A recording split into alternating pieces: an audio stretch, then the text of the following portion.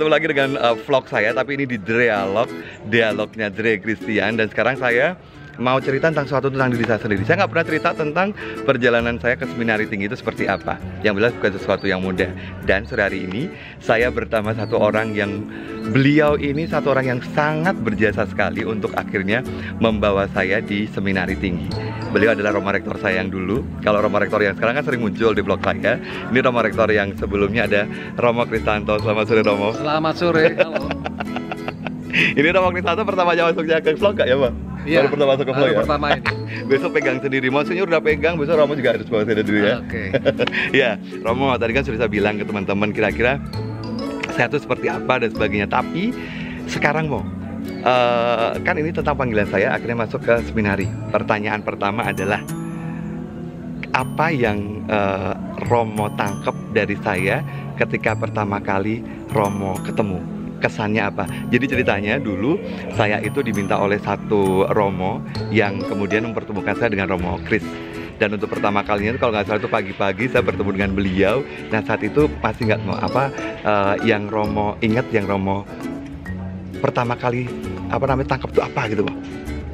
Ya, Anda semua tahu siapa Christian, siapa Belum belum ada yang tahu, belum ada yang tahu, belum ada yang tahu. Nah, dalam keadaan fisiknya Anda Ah, iya, tahu betul, loh. betul. Sudah tahu siapa Christian Ott itu. Nah, itulah kekasannya mengapa saya dulu menerima, mengajak, menantang. Frater Christian atau Frater Ott sekarang Mm-mm. ini mau masuk menjadi calon imam Kuspan Agung Semarang. Mhm. Pertama karena memang di dalam arah dasar Kuspan Agung Semarang Mm-mm. ada KLMTD. Ya, itu adalah itu KLM itu adalah D-nya itu. Nah, kecil, lemah, tersingkir dan, Dan it's me difabel. difabel. Siapa yang akan mendampingi difabel kalau tidak orang itu sendiri? Yap. Dan Mhm. memang Frater Ott ini kekasannya ketika menerima, Mhm. saya masih ingat betul, Mhm. tidak seperti yang lain. Kalau yang lain itu mulai dari ujian, TPA, lalu wawancara, tetapi kalau Frater ini langsung ke panti rapih. betul. Mhm. Ujiannya yaitu pada dua dokter spesialis Betul.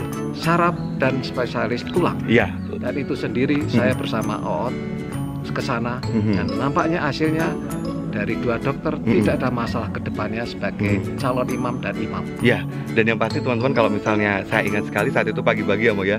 Jadi saya tuh diantar oleh Romo Kris ini ke Panti Rapi. Saya kemudian masuk, saya akan diperiksa dokter. Ya, Saya diminta keluar dan Romo Kris akan mewawancarai dokternya. ya. Jadi itu yang terjadi. Jadi yang pertama karena itu dia difabel ya semoga saya didoakan ya semoga saya bisa menemani difabel teman-teman di difabel di luar sana juga. Nah, Romo Kris ini juga kemudian adalah salah satu rektor saya.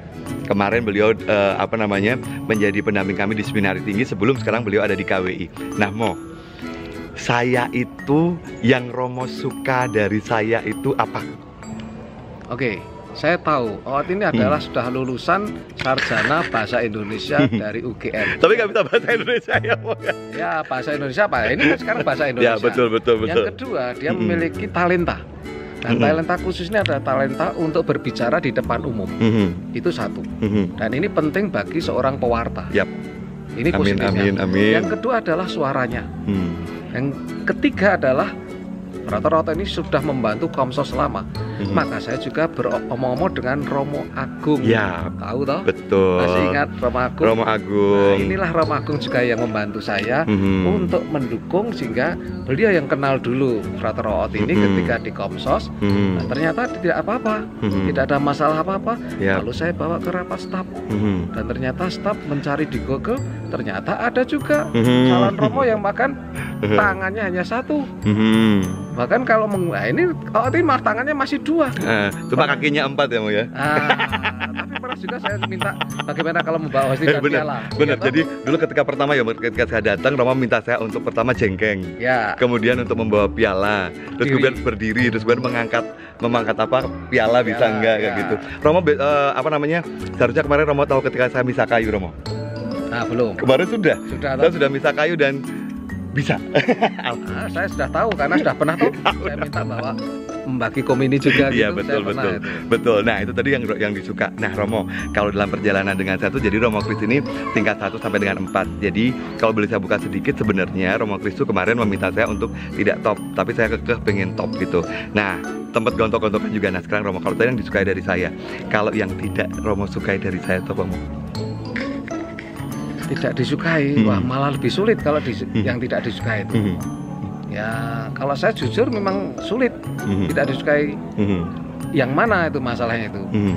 Karena Eh, memang lebih banyak saya sukanya. Kalau tidak lalu eh, memang sudah saya hentikan sebelum top Amin. atau setelah top. Hanya memang ini memang Mhm. perjalanan proses itu kan suatu proses Mhm. yang terus menerus kita tidak tahu. Mhm. Sampai kapan saya pun juga dipanggil imam. Yap. Karena pernah mantan rektor saya dulu, rektor Mhm. di tahun Rohani mengatakan di dalam pungta malam itu mengagetkan saya. Mhm. Beliau pakai jubah mengatakan, siapa tahu kalau besok saya sudah tidak pakai jubah. Mhm. Ya kami sebagai frater tahun Rohani kan kaget. Mhm. Loh, beliau rektor, Mhm. seorang yang suci, tertib, disiplin, kok bisa mengatakan gitu ya? Mhm. Lalu siapa saya, saya siapa? Mhm. Saya siapa ini? Ya. Nah, dengan kata-kata itu saya masih ingat kita tidak ada yang menjamin. Mhm. Satu-satunya kalau saya hari ini setia, Mhm. saya berharap besok juga akan setia Mhm. sampai Tuhan manggil. Itu Amin, amin, amin. Semoga bisa saya laksanakan semuanya. Nah, Romo, yang terakhir ini buat teman-teman di rumah. Saya biasa ngajak teman-teman di rumah untuk menjalani hidup panggilan. Nah, sekarang mau apa yang ingin Romo himbau untuk teman-teman, terutama yang late vocation seperti saya, itu apa gitu? Nah, yang late vocation sebenarnya jangan s- tidak usah minder. Hmm, Yang penting pengalaman-pengalaman di luar itu Mhm. diolah di dalam seminari, hmm, taat, disiplin, Mhm. rendah hati bersama para pamong. hmm, Saya yakin pamong-pamong di seminari itu mampu. hmm, Hanya kita mau ndak. hmm, Sedangkan dengan late vocation itu supaya kita tuh karena sudah ter apa ya sudah learningnya pembelajaran di luar sampai Mhm. habitnya di luar itu sudah banyak hmm, maka tidak mudah itu seperti besi yang tua itu semakin dibengkokkan hmm, lain dengan be- besi yang muda. Hmm. besi muda dibengkok-bengkok ke mana tidak akan patah. Nah ini bahayanya kalau late vocation dibengkok-bengkokkan bisa patah Bet- mudah patah itu. Betul sekali. Satu kata-kata Romo saya ingat banget. Romo Kristus pernah mengatakan gini. Ot, kamu itu seperti apa besi? Kamu itu bisa kuat tapi mudah sekali patah ya udah oke Romo Kris terima kasih untuk ngobrol hari ini di Dialog terima kasih sukses sehat terus semoga segala acara-acara sebuah planning-planning yang sudah disiapkan bisa menjadi kenyataan doakan saya terus Romo oke bisa- bisa siapa saja panggilan. yang mau mengikuti betul Frater Out silahkan Mhm. Yap.